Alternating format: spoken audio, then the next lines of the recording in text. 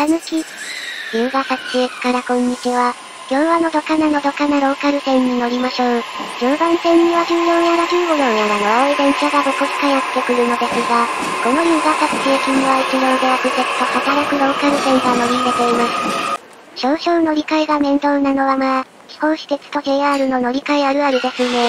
でも私はこういう乗り換え、好きです。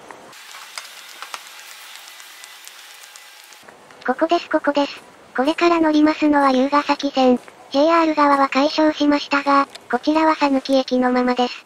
ちょっとした地方施設ながら IC カードにも対応しています。ホームはこじんまりとしています。そりゃあ一両編成の聖地ですからね。ですが開業は1900年。これでも120年の歴史を誇ります。京浜東北線の開業が1914年なので、かなり昔からあったことがわかります。ですが駅数は2駅。終点の龍ヶ崎駅まではたった7分です。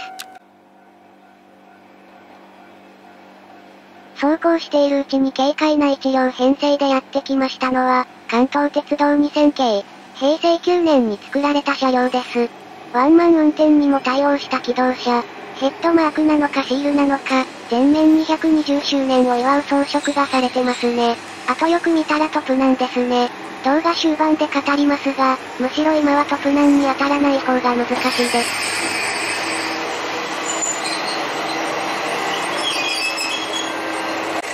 それでは早速乗り込みましょう。3ドア仕様ですので混雑していても、比較的快適に乗り降りができますね。車内は見ての通りオールロングシートです。7分で終点の路線にクロスシートを設けるのもなんかあれですからね。何ですかこれ。闇ソシャゲか何かで出てくるおぞましいクリーチャーの卵ですか？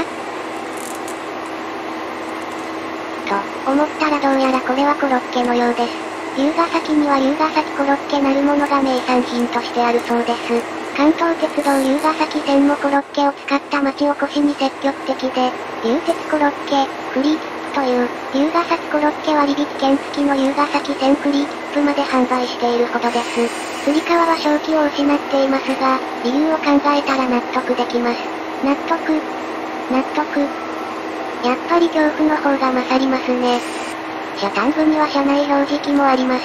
2駅で終点の運命からは逃れられない路線なので、これで十分そうですね。にしても、ちょっとだけ銀座線01系を彷彿とさせますね。それでは、全長4.5キロの短い旅の始まりです。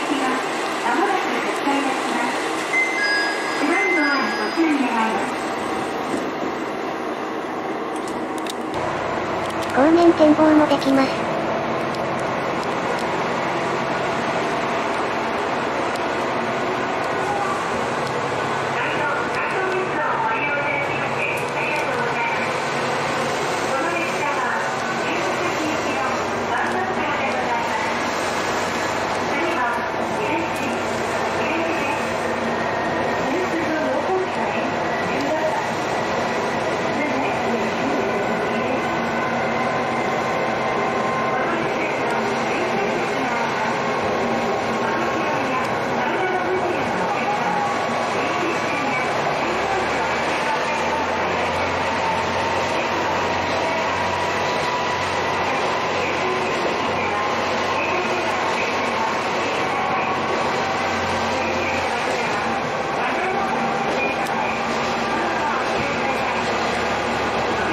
て、龍ヶ崎線の線形は今ある動画を見てもわかるように、直線です。龍ヶ崎駅からまっすぐ線路を17キロほど伸ばしていくと、成田線の堤駅付近にぶつかります。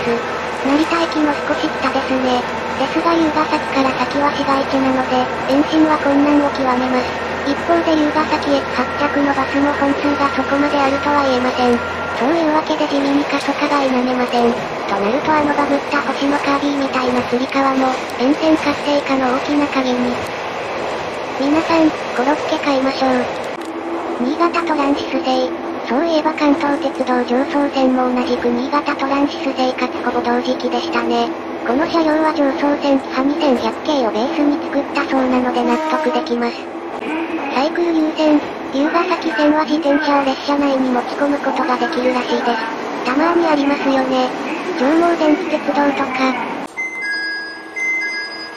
最初にして最後の途中駅、入れ地駅に到着です。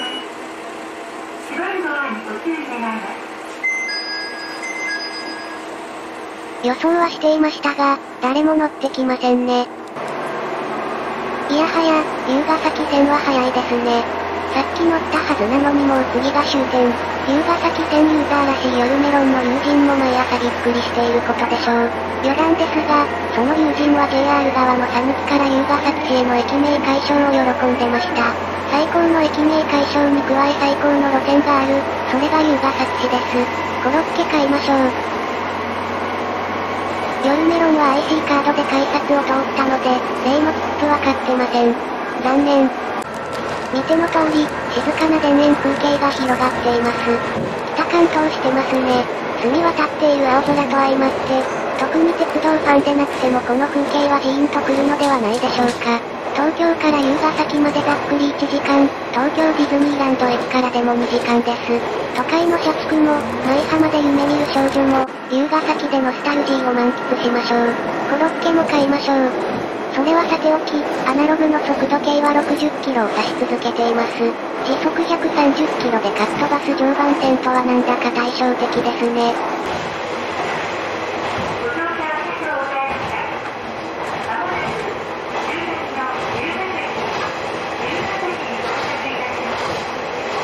というわけで終点の龍ヶ崎に到着です。撮影した10時台は讃岐から龍ヶ崎への利用者は少なめでしたが、逆区間の利用者は結構いました。龍ヶ崎線の利用状況がよくわかりますね。降りる際は段差に注意です。本当に赤くって青くって白い車両です。フランス国旗みたいですね。フランス国有鉄道龍ヶ崎線。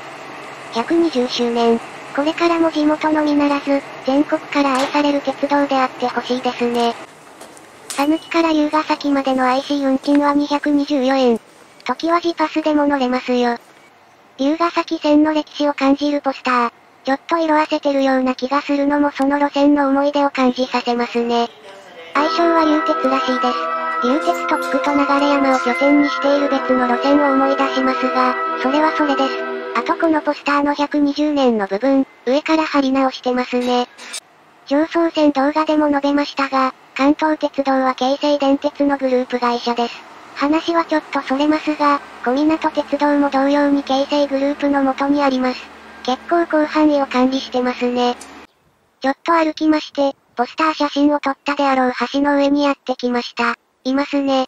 キハ2000系のもう1編成と、年季の入っていそうなキハ532号が、キハ2002号は龍ヶ崎市のマスコットキャラ、マイユーのラッピングが施された、マイユー号だそう。マイユー号は第2、第4日曜日の運行です。右側に止まっていましたのはキハ532号。見るからにごつい見た目してますが、昭和56年製なのでそれもそのはずです。なおこの車両は毎週土曜日の9時から15時くらいに走ります。というわけで、普通は2001号がアクセクと働いています。そのため、トプナンに当たりやすいというよりは、基本トプナンにしか当たらない、と捉えた方がいいです。というわけで、本日は龍ヶ崎線でした。路線は短いですが、その分多彩な楽しみ方がある路線なので、龍ヶ崎市に用がある際はぜひ訪れてみてください。最後は近くの駐車場の地面に描かれていたイラストと共にお別れしましょう。ご視聴ありがとうございました。